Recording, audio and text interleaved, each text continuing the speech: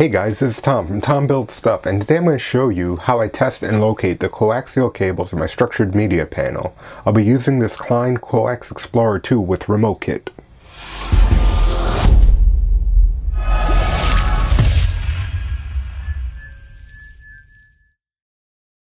I'm running new data, voice, and video cables throughout my home and terminating them to a central structured media panel. It's important to know where each wire in the panel goes in case there's any problems in the future. For the coaxial video cables, I'm using Klein's Coax Explorer 2 with Remote Kit, model number VDV512-101, to test and identify the coax cables. This was one of the tools I received free for review through Home Depot. It comes with the testing tool, and then on the back you have four colored remotes, as well as a coupler that you'll understand why it's important when we actually start using it. The tester runs on two AAA batteries that you access by unscrewing this cap right here. It's fairly simple to use and it costs less than 40 bucks so it's very affordable even if you're just doing a small residential installation. It does two important things. First you can test your cables to make sure they're properly terminated and that they're not cut. This works for small patch cables you have access to, as well as your structured media that's running behind your walls out of view, as LEDs that indicate if there's a short or an open fault in the cable, which is easy to read. It also has these colored remotes you use to locate your cables. This is a good tool to use to label your cables or patch panels so you can identify where each cable goes from your structured media panel. In a little bit, I'll move over to my structured media panel and show you how that works, but right now I'll do a quick test of the patch cable. This is an RG6 quad shield patch cable I made. I'll take one side, I'll screw it into this F connector on the top of the Coax Explorer 2. Then on the other end, oh I can't just put in a, a remote, I need to use the coupler as well. So I have the coupler and the remote and I'll just screw that onto the other end of the cable. Okay, then we'll go back to the tool and there's this test button right here. And if I press it, we'll see that one of the green LEDs lights up. And there's four green LEDs. A red one, a blue one, a green one, and a black one. And the black one lit up because we're using the black remote. If I change that remote to the green one, and then test that again, the green LED with the green bar on the label will light up. We'll try one more time. Put the red remote on there. And now it's the green LED with the red bar that lights up. And I'll show you why that's important in a little bit. I'm to move over to my structured media panel right now and test out the other feature. Here on my structured media panel, I have a 1U keystone panel that I filled with coax ports to use as my coax patch panel. This is where I terminate all my coax cables that I run to various ports throughout the house. Then I connect them to one of two splitters I have. Uh, have this one here for connecting to Fios TV, and then I have another powered splitter amplifier that distributes my over-the-air TV antenna. For demonstration purposes, I connected some coax cables between the patch panel and this wall plate that has four coax keystones in it. In real life, this wall plate would be far away from the panel in another room. Actually, each keystone, each port, would be in a different room. So let's say this one is in the master bedroom, this one's in the guest bedroom, this one's in the living room, and this one's in the home office. And I have them connected to ports 6 through 9 on my patch panel. I want to label my patch panel so I can identify where the cable connected to each port leads, but when I was running my cables, maybe I didn't mark them, or my markings got rubbed off, or cut off, or I just forgot. Actually, this is how most professional installers do it. They'll run cables, and then they'll test and locate and mark each cable on the patch panel when they're done. So I'm going to place these remotes from the test tool onto the keystones. And in the master bedroom, we'll put the red one and when I'm doing this, I would be marking them on a notebook. I'll put the green one in the guest bedroom. The blue one will go in the living room, and then the black one in the home office. Again, pretend these are in different rooms. Now, the next thing, I come down to the patch panel here in the basement with the Coax Explorer tool, and then I'll go through and test the ports where I have cables connected to. And that just means I have to screw on this patch cable that's connected between the tool and the port. And then I could press the test button on the test tool. Let's see, I'm not sure if you can see that. I press it, and one of the green LEDs lights up, and uh, it's the one that's marked by the red bar. So that means this is where the red remote is. And if we look at our notes, red remote, that's what, that's the master bedroom. So we could mark the patch panel master bedroom here.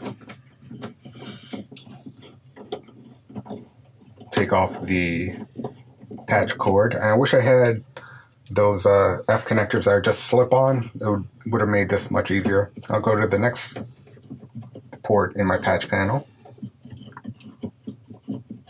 Screw this on. Go back to the tool, the Coax Explorer 2, and press the test button and see what happens. Okay, so this one lit up blue. Uh, well, the green lit up the one that has the blue bar. So I know this is the living room. So I would write down on my patch panel, living room. Okay, then we go to the next port.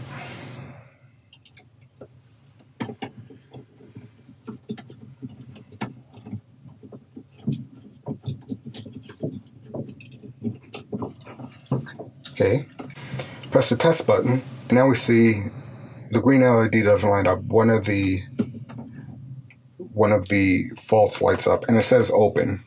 And I'll get to that in a minute, but that that could be a number of different problems. But we'll keep going and hopefully try to locate the last port. Okay, so I have that connected. I'll press the test button. Okay, and we, we get another fault here. This time it says short. One common way for there to be a short in the cable is when the braiding isn't cut properly when terminating the cable. It can be left long and wrap around the main center conductor. That will short the cable.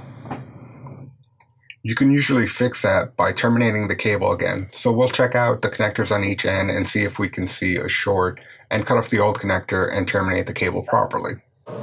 I don't know if you recognize the problem here yet, but the color LED didn't light up for either of the shorts on the Coax Explorer 2. So we don't know which is the other end up here. We know we didn't locate green and black, but that's about it. So this one could be green, this one could be black, or this one could be black, that one could be green. We don't know. We can go open up this, you know, remove the cable from the back of this keystone, check it out, see if it's shorted, re-terminate it, tra- check again, and then hopefully that fixes it. But if not, then we're kind of stuck. Uh, what we need to do in that case is we know this port here, port number six, has a short. So we'll go up and we'll grab one of the remotes and we'll put that on this port downstairs in the basement. Now we know we haven't located green and black, so we'll remove the remotes from those. And then we'll go up to the ports uh, one at a time. Connect the test tool to the port.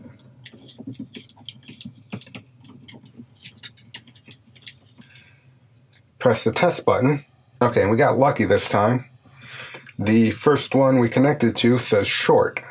So we know um, this is the guest bedroom. That's where the connection is shorted. So we'll take out the wall plate here. We'll check the connection, terminate it, and that should hopefully fix the problem. It's usually a bad termination. I guess it can sometimes be a bad uh, keystone port, but that's pretty rare. So let's put everything back where it was. So we've, uh, this was black, this was green, and this was red. So we know this was in the guest bedroom, so we could put guest bedroom here, and we've identified our ports. And if this was it, this was our whole setup, then we would know this was uh, port 7 was our open port. I'm sorry.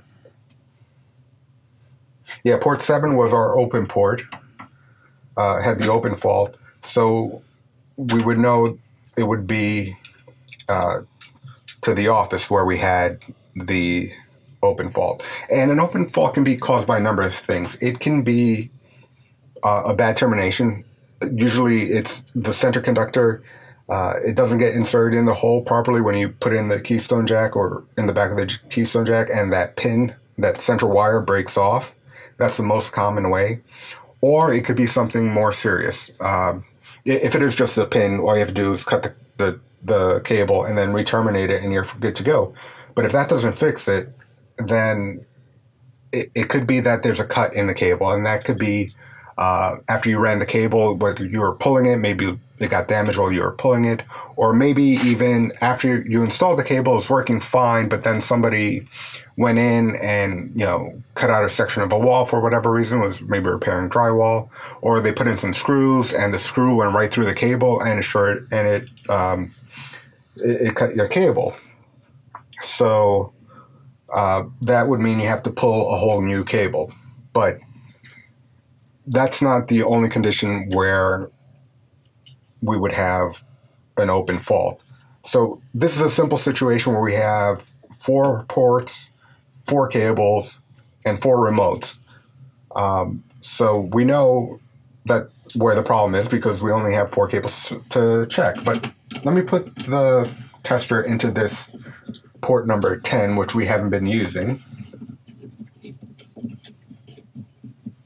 Now, there's no remote connected to the other end of this. In fact, there's no cable connected to the end, other end of this. And when I press the test button, it shows a fault, an open fault. So when you put the tester on a port and it says open, it could mean that there's a problem with the cable, or it could mean that it happens to be one of the ports that you haven't put a remote on because likely you have more than four ports, but you only have four testers uh, to deal with, four remotes to deal with. So the way to, to, to handle this is just take good notes. Uh, keep a notepad, write down all your ports, one through uh, however many number of ports you have, one through 12, whatever.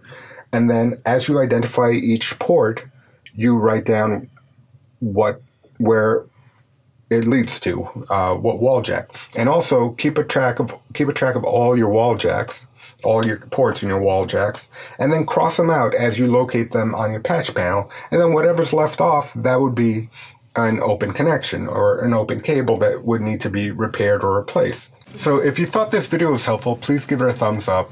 Planning on making more videos on my structured wiring projects, so please click subscribe so you can get a notification whenever something new comes out.